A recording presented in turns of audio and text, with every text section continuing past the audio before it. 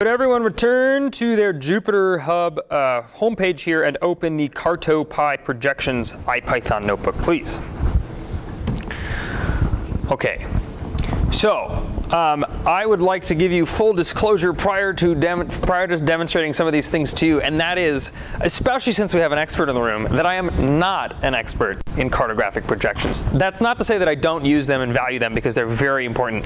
But later on today, we're going to have Sarah telling us about some of the complications and uh, benefits of choosing your map projections. And if you have questions about them, I don't have the answers to them. So I wanted to just start with that. Um, but what I do want to show you is that in Python, there's a really fantastic library called CartoPy, which handles the complex trigonometric calculations required to perform cartographic projections, okay? And so that's the real, and, and it makes it like stupid simple, which is what we want, right? We don't want to make it complicated because they're complicated and somebody else has figured out how to make them easier, so we're going to use that tool. What is a cartographic projection? Does anybody have a quick answer to that question? Yeah. Anybody? Nobody. Yeah, Sarah? you want to yell out your answer? Sure, sure. It's the mathematical transformation from a spherical coordinate system into a planar coordinate system. Yes. Is the Earth? Indeed. Is the Earth flat? Come on. no, the Earth is not flat. The Earth is a sphere. Just kidding, it's an ellipse. Just kidding, it's not really that either. So, moving from the spherical world into a map on our computer screens is something that is important to be able to do well, but there's no way to do it well. There's just the way to do it appropriately to your, uh, to your particular context. And so that's all I'm going to say about map projections in terms of their usability and which ones to pick. Now I'm going to show you how to actually employ this uh, Python library called CartoPy to engage with map projections in your plotting. Okay, um, There's about a thousand too many words in this IPython notebook for me to read to you, so I'm not going to read them to you. What I did is I put the words in there so you can go back and read them on your own. But what we're really going to do here is we're going to focus on um, on the actual code. So you can ignore all the words right now because I'm basically telling you what you need to know. But if you need to go back and review, the words are going to be there for you. So if you could always uh, all go down to cell 4 in your notebook, we're going to start there. Okay. So what we're doing here is we're importing matplotlib and the pyplot, the pyplot uh, submodule there, which is just basically all the plotting utilities that come with, uh, with matplotlib. And we're also going to import cartopy. Now cartopy is built up of a lot of different submodules, all of which um, have a different, very specific purpose. And the one for our particular purpose here is CRS. Does anyone know what that stands for? Not Sarah. Coordinate reference system, yes. A coordinate reference system is basically you can think of as the projection. It defines the relationship between the spherical coordinates and the projected coordinates. And we're going to import that as CCRS. This is a Python idiom where you can import something as something else. It just, it just basically calls it a different name so we can access it later.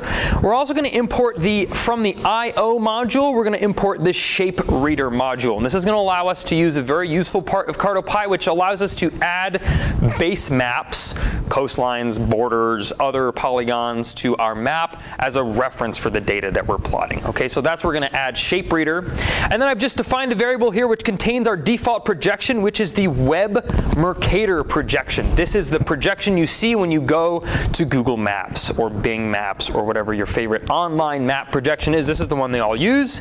And then we're telling matplotlib to plot our plots in line in the notebook.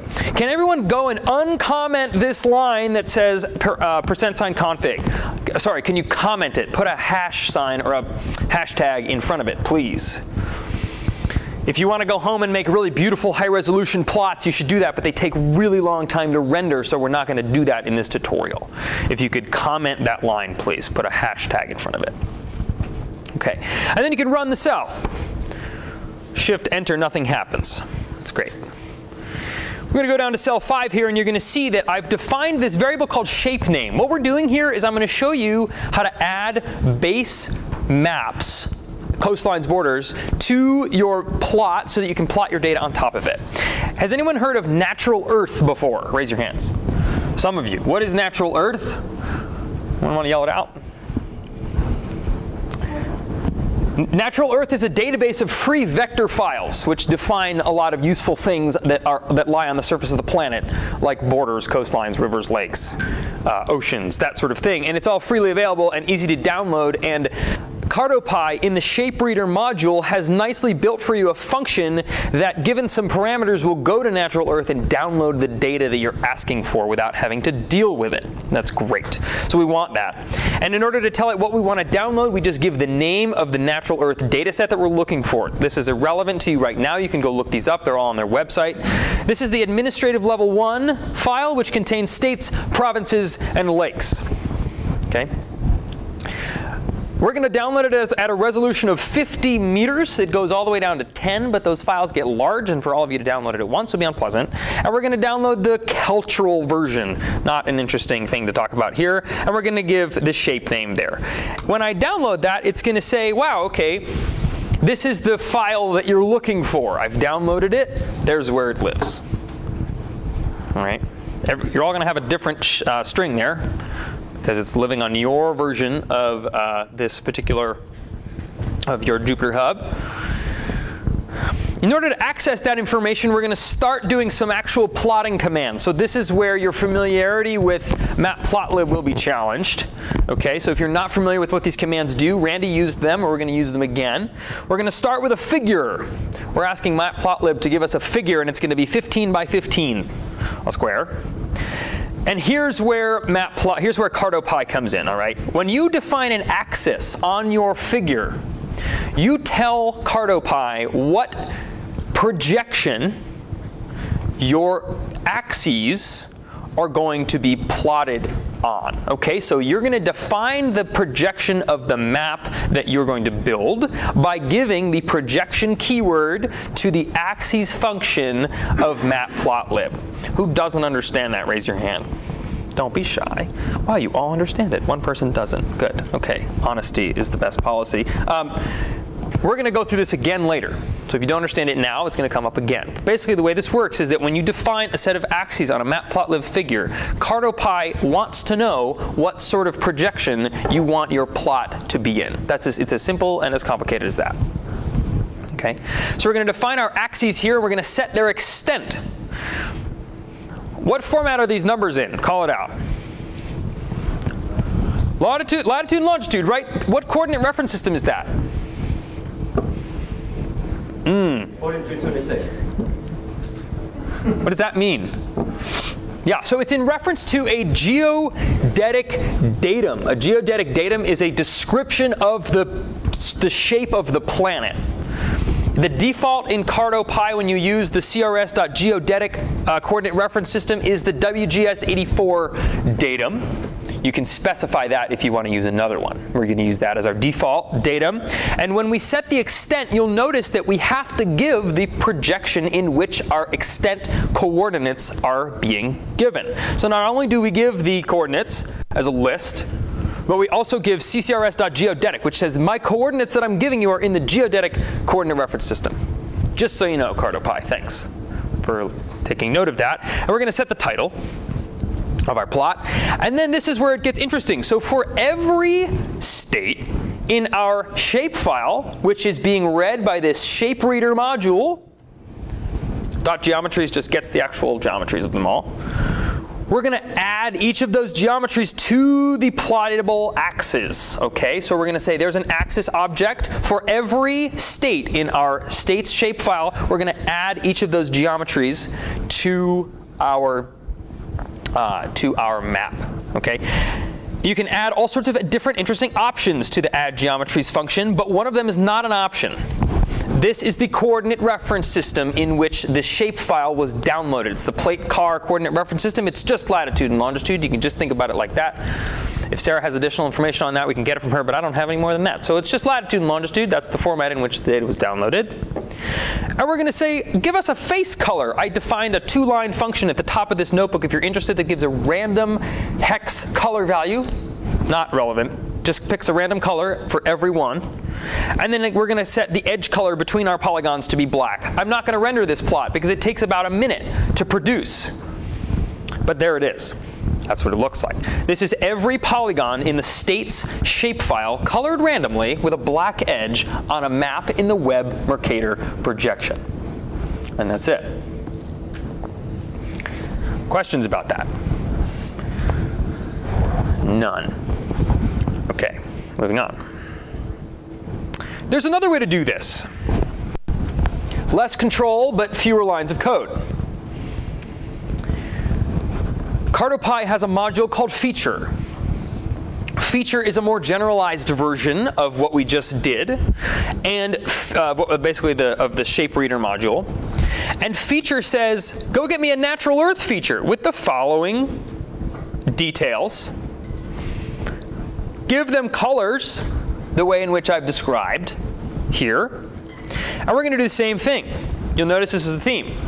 We're going to set up our figure, 15 by 15 matplotlib figure. We're going to add a set of axes to it with our default projection, which is the Web Mercator projection. We're going to set the extent, which is exactly identical to what we did above in the geodetic coordinate system, WGS84 datum. We're going to set the title.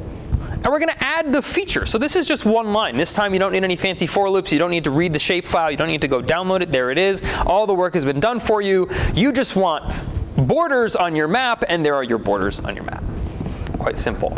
It's nice to be able to do this in as few lines of code as we're doing it here. This is very convenient. Um, CartoPy's feature module has some of these built-in and pre-downloaded for you. If you are someone who needs very specific information on your base map, these aren't going to work well for you. But if you just want to put some very vague global landmarks on your projected maps, dot rivers and dot borders are pretty useful. This is our map. I colored the borders green so you can see what it was added to. Right? And you guys can be running these cells if you want. The reason why I'm not doing that is because these plots take a long time to render. If those of you who are running them are observing that, that's normal. There's a lot of data in here. Okay, so that's basically the very short version of how to add features to your base matplot or your base yeah your base matplotlib plots. Okay, with CartoPy. But what we haven't actually talked about very much yet is the actual act of projecting data, right? Because that's why we're standing here today. Is why is to learn about how CartoPy can manage our projections for us, and that's what we're going to do next. And so to give you basically the, the, um, the, the, high level overview of what we're going to do, or what CartoPy is expecting from us, is the following. So I told you earlier that when you make a set of axes in a matplotlib figure, you always, always, always, if you're using CartoPy, have to tell the plt.axes function what projection you're intending your final plot to be plotted in. Okay, so that's a, that's a, like a non-negotiable. You must do that because it, that is what you're trying to do in the first place. You're trying to make a plot in a given projection. But the additional thing that's very important to note, and we're going to show you some examples of this later, is that every time you plot something on the map, or you specify something to the axis object, it needs to know the source coordinate reference system that the data to be plotted is in. Okay, and this is the strength of CartoPy. Because let's say you're an oceanographer or a meteorologist or something, and your community uses like the Lambert conformal projection or the stereographic projection or the orthographic projection. And when you go to download your data from NOAA or NASA or whatever, your data is already in that projection. The beauty of CartoPy is that all you have to do is download your data, put it in some Python object, and when you add that object to your plot by saying plt.addGeometries or something like that, axis.addGeometries, all you need to say is, hey, by the way, the data is in the orthographic projection.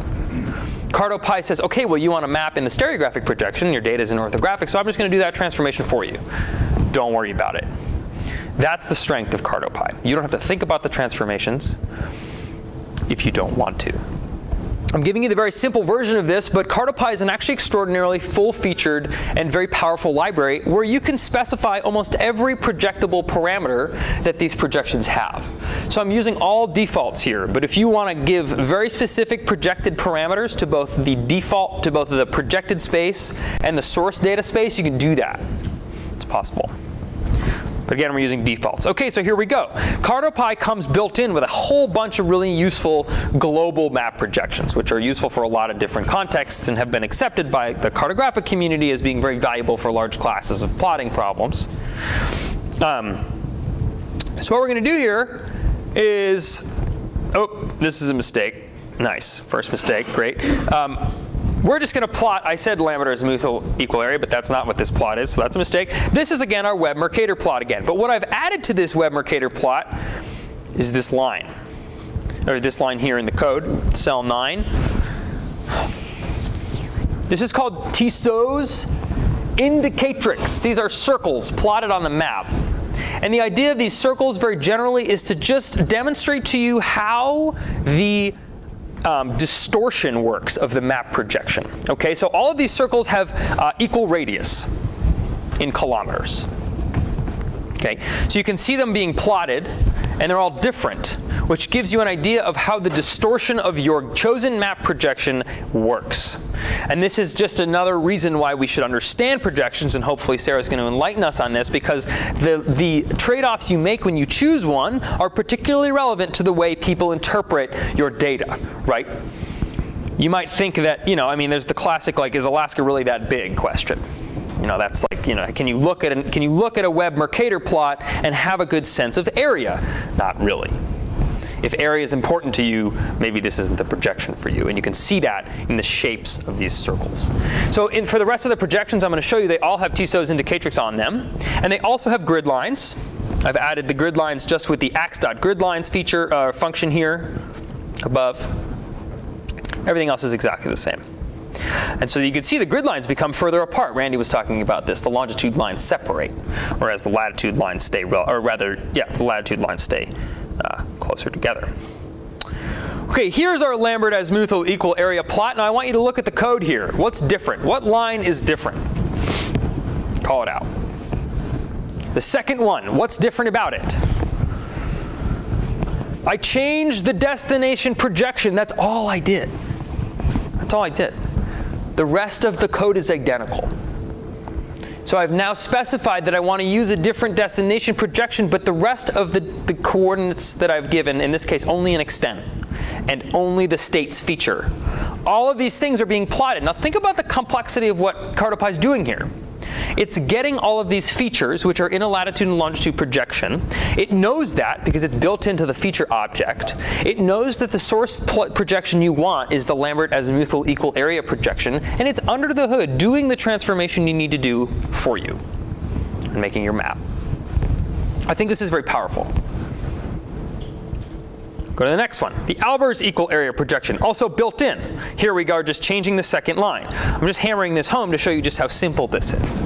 Right? If you need to change your projection to see how it, it might look, this is very simple to do. The Lambert conformal, similar. This is, a, this is a plot we see a lot in meteorology, that projection. Okay, but let's say that you work only in Mount Rainier National Park and you know that there's a, there's a standard projection for Mount Rainier National Park, and that's the one that everybody uses. You're going to have what's called an EPSG number for that projection. EPSG stands for the European, what, the European so a Petroleum Survey Group, who has designated themselves as the authority on projections. And they have assigned a number to all of them. And CartoPy gives us a tool ccrs.epsg, it's a function where we take an EPSG number, which defines a projection. This function will go ask epsg.io, which is a website, for the parameters of that given projection you've specified, and then we'll download those parameters and use them as your source projection.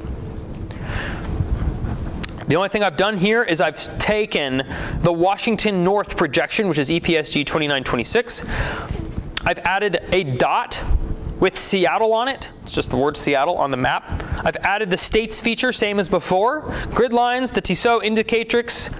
And I've done this for both Washington North, Washington South, and the Mercator projection.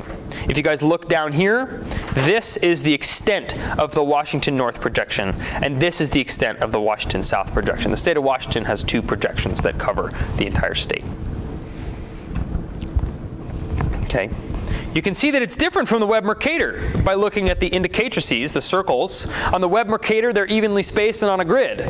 But in the individual state projections, there's a little bit of curvature between them. Another example of why one might choose one projection over another. Again, it depends on your use case, but I'm just demonstrating that they're different. And so finally, real quickly, I want to show you that this is way more powerful than it might even seem because you can actually plot real data really easily on these maps. Now, I don't want to go through all the details of these individually, but really quickly, what we're doing here is we are grabbing some data, uh, some shape files from the, um, from the National Park Service of all the park boundaries. They're wrong, by the way. This is the wrong data set. I downloaded the wrong one, but we're just going to roll with it. There's some errors. Forget about it. We're using GeoPandas. And we're reading in the shapefile. Here, because, it's a, because shapefiles are um, actually a set of files, you can put them in a directory and then just give the directory name. So that's what I've done here. I'm reading in the uh, shapefile directory into a GeoPandas object. I'm saying, okay, there are 58 parks in the file. Great, sounds about right.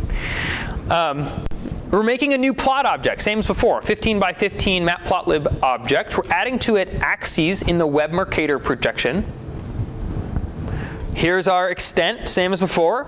Adding the states feature, same one we did before. I took the line width a little bit down so they wouldn't be so oppressive in our plot. And then I said add some rivers, why not?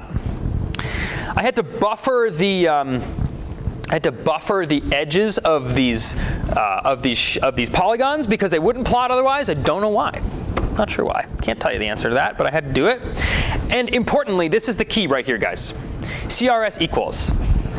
This is how you tell CartoPy in the add geometries line, hey, my data is in the PlateCarree projection. It is latitude and longitude data and a WGS84 datum, latitude and longitude coordinates. That means that it knows how to plot it now. If you don't give the CRS parameter, it won't plot the data. It'll just say, great, I know about it, but I'm not going to put it on your map because I don't know how. I don't know how to project from an unknown space to the one you want. Yeah. Um, I'm curious why you switched to GeoPandas to read the shapefile as opposed to the CartoPy. Yeah, that's a great question. Only because it is fewer lines of code. That's the only reason. And it's, it's more native to me. But you could have done it in the shape reader module of CartoPy. Absolutely. Good point. This is, I think, is a, is a closer use case to what you might actually do in real life because it's likely that you're going to be doing some processing or analysis on your data and then plotting it. And if you're using GeoPandas for that, this is how you would do it get the geometry column from the Parks geodata frame, buffer the, um, the polygons by zero. Again, I don't know, it's very confusing to me why that's necessary.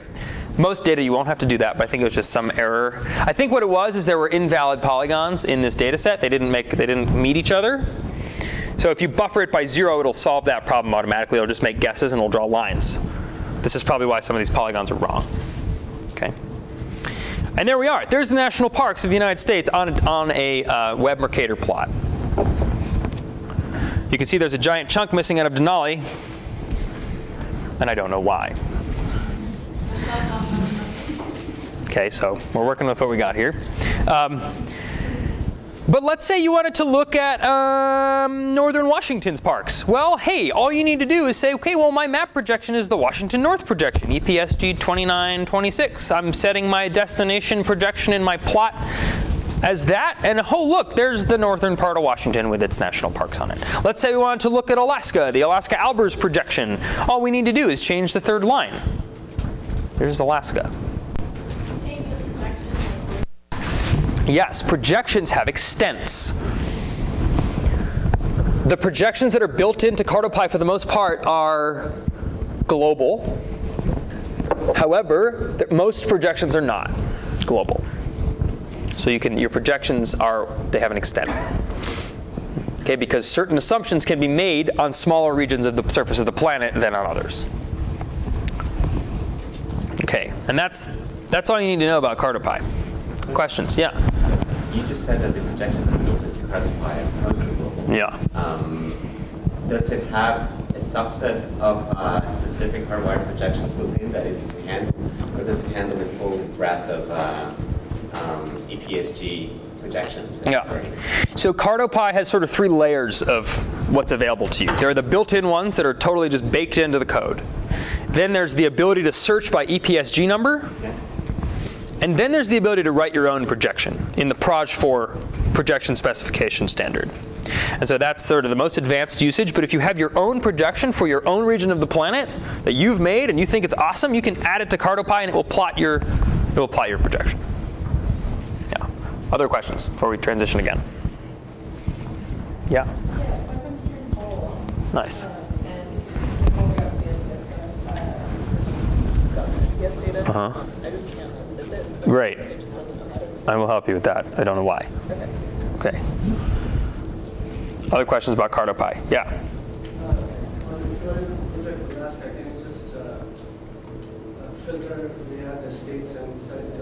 Sure. Yeah. So the, what I was showing here is that you just give all the data and it'll subset it for you. But you could also subset the data first. You could also set the extent of a different projection to just show Alaska. Like let's say you wanted to show Alaska, but you wanted to do it on the Web Mercator projection. You would just specify the extent of the plot that you want, and it would just show you Alaska. The point here was all I did was add the Alaska Albers projection, and it knew where the boundaries of that projection were, and it knew how to perform the cartographic transformation, and then that's what you got fairly effortlessly.